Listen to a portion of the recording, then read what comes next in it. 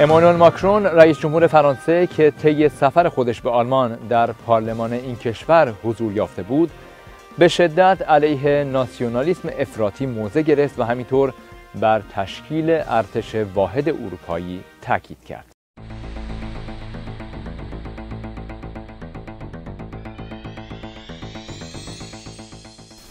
امانوئل ماکرون گفت اروپا و در بطن اتحاد فرانسه و آلمان تعهد دارند تا نگذارند دنیا به ورطه آشوب بیفتد رئیس جمهور فرانسه هشدار داد دو جریان ملیگرایی بیحافظه و بنیادگرایی بینشانه اروپا را تهدید می کنند. آقای ماکرون که به مناسبت روز 18 نوامبر روز یادبود قربانیان جنگ در آلمان به این کشور سفر کرده بود گفت فاز جدید از آنجا که باید با یکدیگر بر سر رویکردهایمان بر سر سیاست خارجی، مهاجرت، توسعه، تشکیل راهبرد دفاعی مشترک و افزایش سهممان در بودجه مشارکت کنیم می‌تواند ترسناک باشد.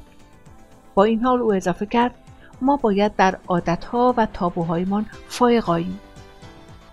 وی در بخش دیگری از سخنانش بدون اینکه از کشوری نام ببرد گفت اگر اروپا بازیچه قدرت ها شود و به ثانوی بودن در صحنه بین الملل دلخوش کند نمی‌تواند نقش خود را ایفا کند.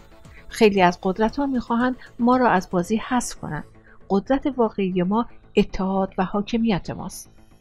آنگلا مرکل صدر اعظم آلمان در اظهاراتی پس از سخنرانی امانوئل ماکرون خطاب به وی گفت شما با یک سخنرانی تاثیرگذار نشان دادید که دوستی و همکاری آلمان و فرانسه تا چه حد اهمیت دارد و این اتحاد چه نقشی را در سطح اروپا بازی می کند. صدر اعظم آلمان اضافه کرد آن دسته از ما که بعد از جنگ به دنیا آمده ایم در قبال درس هایی که از جنگ گرفته ایم مسئولیت داریم. امانوئل ماکرون روز سهشنبه 6 نوامبر در مصاحبه گفته بود کشورهای اروپایی برای تضمین دفاع از خود باید یک نیروی نظامی مشترک تشکیل دهند. صدر اعظم آلمان با دفاع از ایده تشکیل ارتش واحد اروپا گفته بود وجود این نهاد نه تنها با ناتو مغایرتی ندارد بلکه موجب حضور پرقدرت اروپا در ناتو خواهد شد و می‌تواند ضامن برقراری صلح پایدار میان کشورهای این اتحادیه شود